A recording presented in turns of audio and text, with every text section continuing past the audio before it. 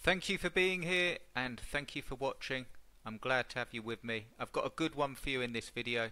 Quite simply what I'm going to do is I'm going to show you how to use ChatGPT to find the most profitable affiliate products across several networks and actually look at a series of data. So I actually look at um, affiliate products across a, across a few different networks and the actual data that matters so you know that they're sell so when you go and promote them you're far far more likely to make sales. So I hope you enjoy it. If you do enjoy the video do give us a like. Do give us a thumbs up. It really really helps. I do appreciate you watching. And if you're interested in this stuff do subscribe. Beat the 9 to 5 is dedicated to help you do exactly that. My name's Chris Jones. I've worked online for over 20 years, can you believe?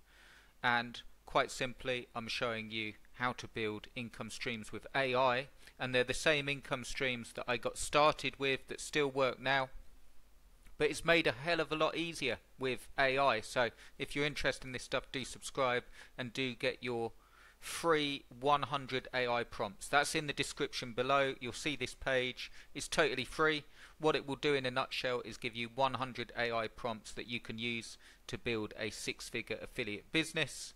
And I'll also be giving you tutorials on how to use them and what to use them for. Okay, so enough about that. Do check that out if you're interested. Let's get on with the good stuff. Here we go. Let's go over to ChatGPT. So what I'm going to show you how to do is pick high converting affiliate products but across a few different networks. So the ones we're focused on are ClickBank, Amazon and ShareASale. So ClickBank if you don't know is just online products. They do do physical products now, uh, a lot of health supplements, things like that.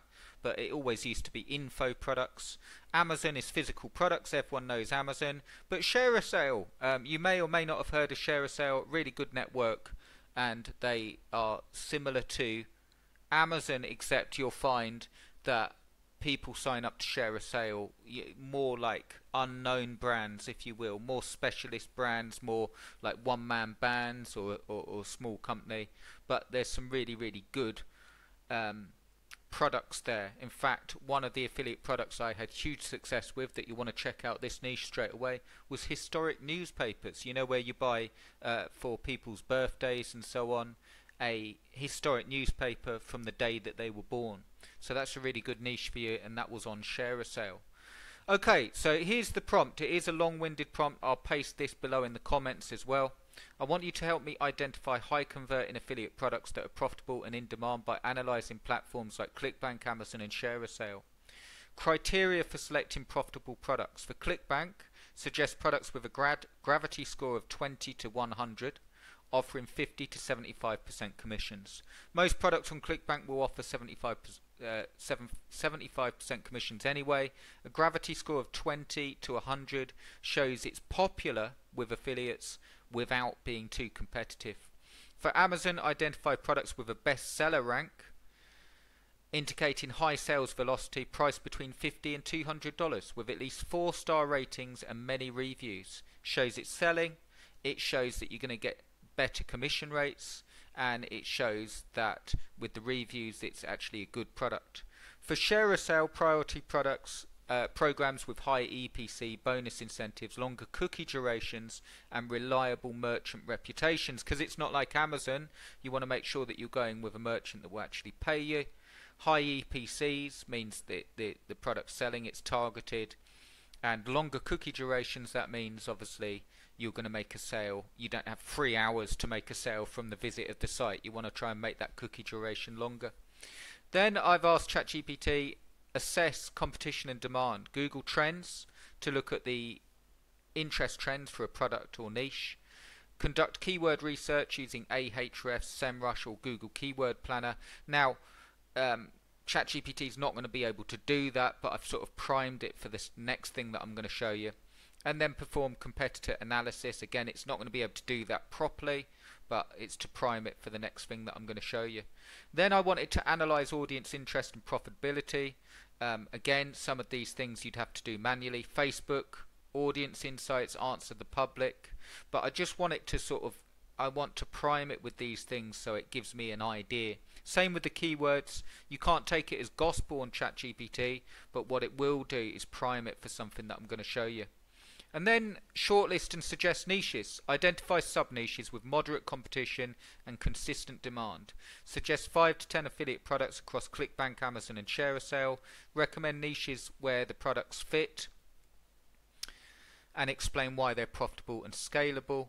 Calculate estimated return on investment. So here we go. Off it goes, and it gives me the first thing it does is give me the criteria. It's repeating back to me what it's going to be giving me. Okay, so we know all this, that's what we primed it to do.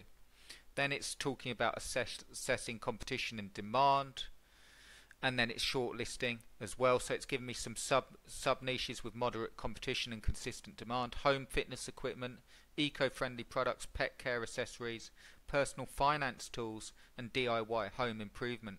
But then here we go. It's recommending affiliate products that meet those criteria. ClickBank, uh, pelvic floor strong and again, some of these are older products, so you could go into a, a similar product that's newer if you wanted to. But pelvic floor strong, um, broad target audience allowing for scalable marketing efforts, smoothie diet, high demand for weight loss solutions. Amazon, I'll come back to this. The Vitamix Propel Series 750 blender. BSR is low, indicating high sales velocity. $500 for the product.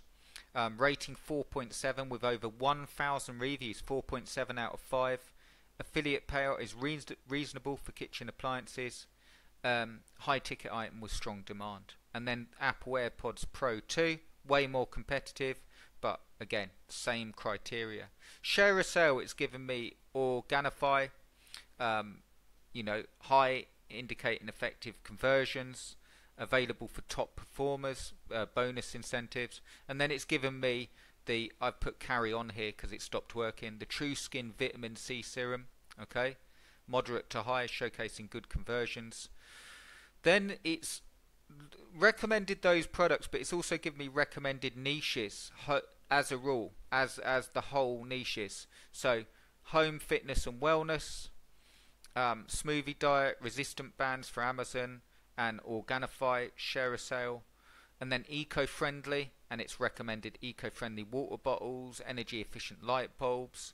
Then you've got pet products, smart pet cameras, pet health supplements, and grooming kits. Then you've got high-tech gadgets, and so on. It's recommending them to me.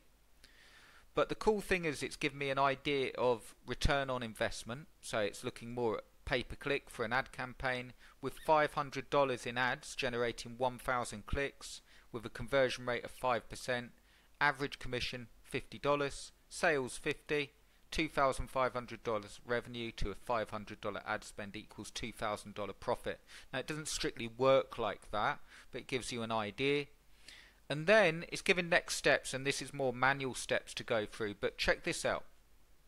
I've then said I'm going to build a site around the Blender and like products. Give me the best keyword clusters to start. I want keywords that people are searching for, a way into the niche, i.e., target a specific group of people and clusters that will be buying key phrases. And the first output it gave me was just around the Vitamix Propel Series 750 blender, this one here. Uh, $529. Okay? But what it did was actually give me primary really close knit to that product and I didn't want that because it's too too close knit. So what I did was I gave it another prompt make these clusters wider. Don't just focus on one product focus on the people that want a high-end blender. What are they using it for? What features? What verses between the top products? And check this out. Intent high performance blenders for specific goals smoothies and juices meal prep, nut butters and spreads, professional grade blenders for home chefs. Um, are high end blenders worth the price? Best blender for frozen fruit smoothies, blenders for green juices, and so on. So you've got there a niche that meets those criteria, um, a good price point, one that's actually selling. So if we look at there was um, 2,000 of these, sorry guys, 2,000 of these bought in the past month here at $529 and we know if we build a site around these uh, longer tail key phrases, do a few verses, brand versus brand, Vitamix versus Blendtec, Breville versus Ninja, really well known brands. And we do high end versus budget, feature comparisons, problem solving. Why is my so that's more when they've bought it. Easiest blenders to clean might be a buying choice because they can take a while to clean. Best blend is for weight loss shakes. If we pick out those key phrases, we've got a good product, a good price point, we know it's selling, and we can do um, the top products as we've just seen, mix that in with the top key phrase, link it all together, and you've got a great niche um, for Amazon in this case, or ClickBank, or ShareASale. So go and use that prompt. The prompt is up here. You can pause the screen, or I'll drop the prompt below. This long, long prompt. Go and use that and find some really great niches that will pay you way more and uh, be easy to promote. So I hope you enjoyed it, guys. Go and give that a go. Let me know how you get on in the comments. Remember to get your free stuff, subscribe, like, and I'll see you in the next one. Cheers for watching.